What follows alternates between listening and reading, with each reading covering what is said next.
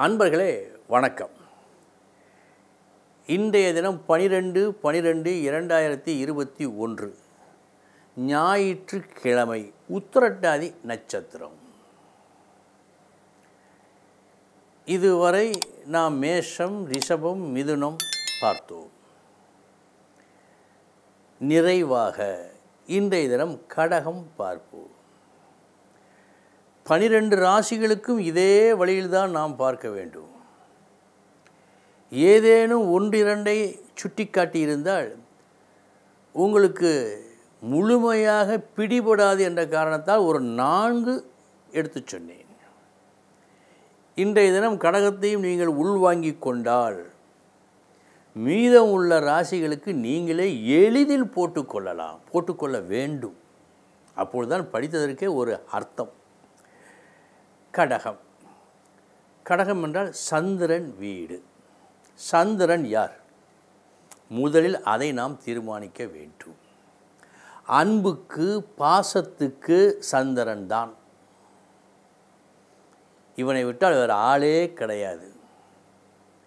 தாய் பாசத்தை மீறி ஏதேனும் ஒரு பாசத்தை உங்களால் காட்ட முடியுமா? இல்லை இந்த உலகில் யாராவது காட்ட முடியுமா? முடியாது. அதே போல்தான் இது. தாய்தான் சந்திரன். இந்த கடகராசியில் ஒன்பது பிரிவுகள் உண்டு. புனர்பூசம் நான்காம் பாதம் பூசம் நான்கு பாதங்கள் ஆயில்யம் நான்கு பாதங்கள். ஆக ஒன்பது பாதங்கள் உண்டு. குரு சனி புதன். இந்த மூன்று கிரகங்களும் இடையிடையே ஊடுருவுவார்கள்.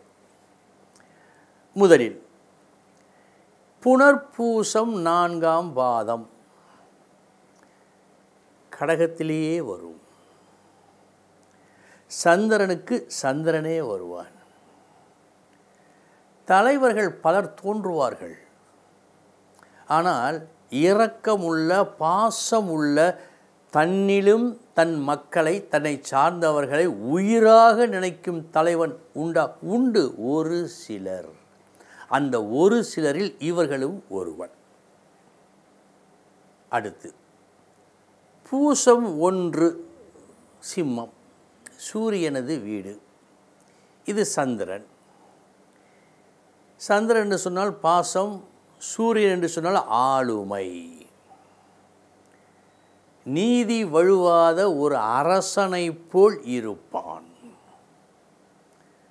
குடும்பத்தில் தாய் தாரம் சகோதரன் சகோதரி மாமன் மாமியார் இப்படி பலரும் இருக்கையில் ஏதேனும் ஒரு சமர் சண்டை வந்தால் எந்த பக்கம் நியாயம் என்பதை?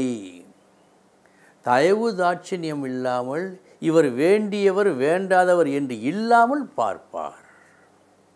இது இவரது அந்த அன்புதான் இந்த வகையில் செல்லும். அடுத்து பூசம் இரண்டு. இது கன்னியில் வரும் நவாம்சத்தில். புதனின் வீடு. சந்திரனும் புதனும் மனசுக்காரகனும் பேச்சுக்காரகனும் இணைகிறார்கள். எப்படி இருக்கும்? மனம் உருகச் சொல்வதில் இவர்களுக்கு நிகர் இவர்கள்தான். கேட்பவர் யாரையும் உருக்கிவிடும் இவர்களது பேச்சு. இது இவர்களுக்கு உண்டான ஒன்று. பூசம் இரண்டாம் பாதம். பூசம் மூன்று துலாம் சுக்கரனின் வீடு. எதை எதை செய்ய வேண்டும் எப்படி நன்றாக செய்ய வேண்டும் எப்படி பாசத்தை தெரிவிப்பது உச்சகட்ட பாசத்தை தெரிவிப்பதில் இவர்கள் நிபுணர்கள். பூசம் நாலாம் பாதம் செவ்வாயின் வீடு.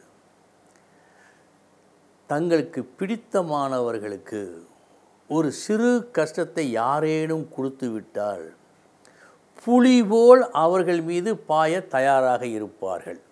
அத்தகைய முரட்டு பாசம் இந்த பாசம். இனி ஆயிலியம் ஒன்றாம் பாதம். அந்த ஆயிலியம் ஒன்று தனுசுவில் வரும். குரு சந்திரன். எதை செய்தாலும் புகழ் பெறுவார்கள். அதைவிட பொருத்தமான வார்த்தை உள்ளன்போடு தனக்கு நியாயமெனப்பட்டதை கொஞ்சங்கூட சளைக்காமல் முழு மனதாகச் செய்வார்கள். இதுதான் பொருத்தமான வார்த்தை. அடுத்து ஆயில்யம் ரெண்டு இது மகரத்துக்கு வரும் சனி சனி சந்திரன். நிலையான ஒரு புத்தி இருக்காது. இப்பொழுது ஒன்று பேசுவார்கள் மதியம் ஒன்று பேசுவார்கள் இரவு ஒன்றை பேசுவார்கள். அடுத்த நாள் இந்த மூன்றையும் விட்டுவிட்டு வேறு ஒரு புது விஷயத்தை எடுத்துக்கொள்வார்கள். இது மகர சனி வந்தால் அப் மகரத்துக்கு வந்தால் அப்படித்தான். கும்பம். யோசிப்பார்கள் யோசிப்பார்கள் யோசித்து கொண்டே இருப்பார்கள். கடைசியில் ஒரு முடிவை எடுப்பார்கள். அந்த முடிவிலிருந்து நழுவவே மாட்டார்கள். இவர்களெல்லாம் எளிதில் யாரிடமும் பழக மாட்டார்கள் பழகினால் விடமாட்டார்கள். ஆயில்யம் நான்கு. இது குருவினுடைய அம்சம் வருகிறது. குரு சந்திரன் ரெண்டுமே பெண் ராசி. மீனமும் சரி கடகமும் சரி பெண் ராசி. எனவே இவர்களது அன்பிற்கு பாசத்திற்கு உதாரணம் காட்டவே முடியாது. மெழுகுவத்தி உருகுவது போல் அன்பை காட்டினால் உருகி விடுவார்கள்.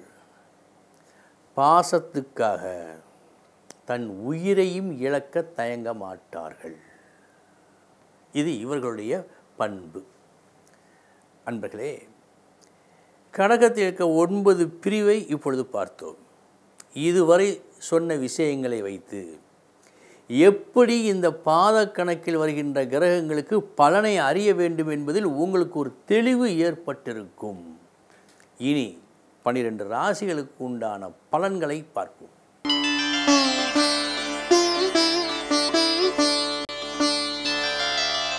மேசராசி அன்பர்களே தொலைநோக்கு பார்வையோடு ஒரு திட்டம் தீட்டி செயல்பட்டு அந்த செயலில் முழு வெற்றியை இன்று காண்பீர்கள்.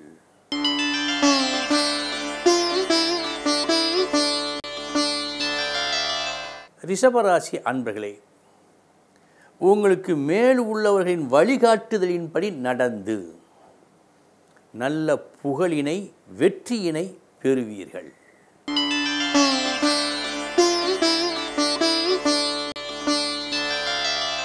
மிதுன ராசி அன்பர்களே தீமையும் நன்மையும் கலந்த நாள். முதற்பாதி நீங்கள் செய்த வேலை குப்பை தொட்டில்தான் போட வேண்டும் என்று சொல்லவே கேட்பீர்கள். ஒன்றுக்கும் பயனில்லை என்று ஒதுக்குவார்கள். மறுபாதி அதே வேலையை தலையில் தூக்கி வைத்து கொண்டாடுவார்கள். அந்த வேலையையும் உங்களையும்.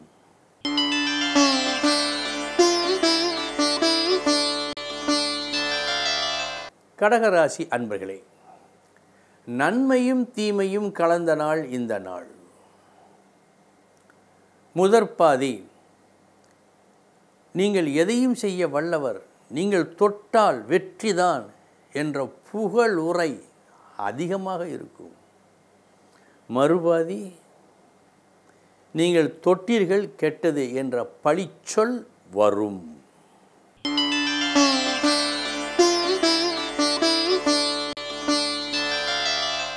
சிம்மராசி அன்பர்களே தீமையும் நன்மையும் கலந்த நாள் இந்த நாள். முதற்பாதி எதிர்பாரா இடத்திலிருந்து தொந்தரவு வரும். உங்களை கஷ்டப்படுத்தும் வகையில். மறுபாதி அந்த தொல்லையிலிருந்து விடுதலை கிடைக்கும்.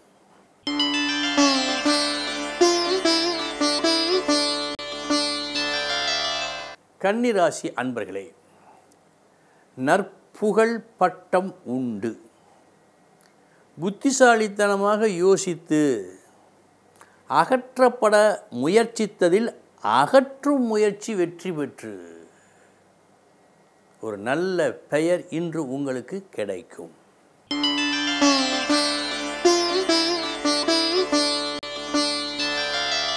துலாம் ராசி அன்பர்களே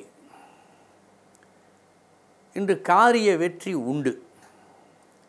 நீங்கள் எடுத்த காரியம் வெற்றி பெறும். அந்த காரிய வெற்றி பெறுவதற்கு நீங்கள் ஒரு வித்தையை காட்ட வேண்டியது வரும்.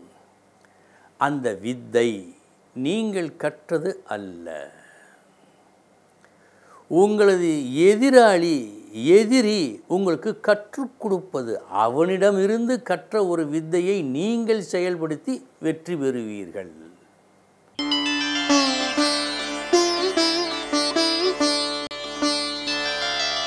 விருச்சக ராசி அன்பர்களே ஒரு பட்டம் இன்று உண்டு. உங்களது முயற்சியும் உங்களது திறமையும் தெரிய வேண்டியவர்களுக்கு தெரிய வந்து அதன் காரணமாக இந்த நல்லது இன்று உங்களுக்கு நடக்கும்.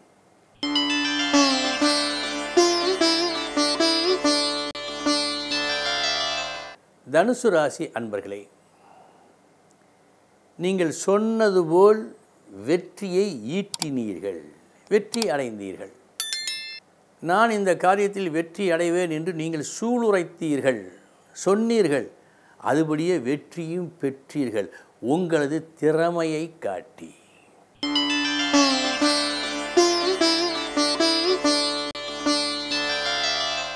மகர ராசி அன்பர்களே இன்றைய உங்களது முயற்சி உங்களுக்கு தேவையான பணத்தை பெறுவதற்காக இருக்கும் அந்த முயற்சி வெற்றியை கொடுக்கும்.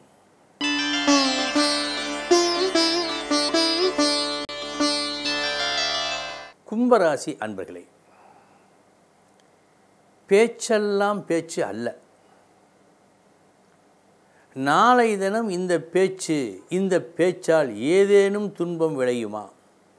எதுபோல் பேசினால் தொந்தரவே வராது என்று பார்த்து பேசும் பேச்சு இன்று உங்களது பேச்சு. இன்றைய உங்களது பேச்சு திறனால் புகழ் பெறுவீர்கள்.